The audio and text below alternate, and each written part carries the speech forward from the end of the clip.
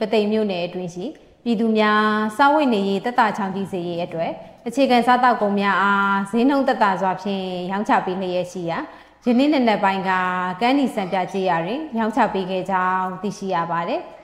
ပသိမ်မြို့နယ်စီမံအုပ်ချုပ်ရေးအဖွဲ့၏လမ်းညွှန်စီစဉ်မှုဖြင့်စားသုံးသူရေးရာဦးစီးဌာနမွေးမြူရေးနှင့်ကုသရေးဦးစီးဌာနတိုင်းဒေသကြီးစံကုန်သည်များအသင်းတိုင်းဒေသကြီးစီကုံသည်နှင့်စီလုံငန်းရှင်များအသင်းတို့ပူးပေါင်း၍ စားသုံးသူတပိတ်သားလျင်4800ကျပ်စံတပြီ2500ကျပ်ကျဲဥလေးလုံး1000ကျပ်စားတပိတ်သားလျင်300ကျပ်နှုန်းတို့ဖြင့်ကန်းနီကျေးရွာအုပ်စုအတွင်းရှိကန်းနီစံပြကျေးရွာကန်းနီပြကျေးရွာသူတော်ကုန်းကျေးရွာငပြောတော်ကုန်းကျေးရွာတို့မှာပြည်သူများကျေးရွာအုပ်ချုပ်ရေးအဖွဲ့မှစနစ်တကျစည်ရင်ပြုစုကြီးကြပ်ခါလက်လီရောင်းချပေးခဲ့ကြောင်းသိရှိရပါတယ်။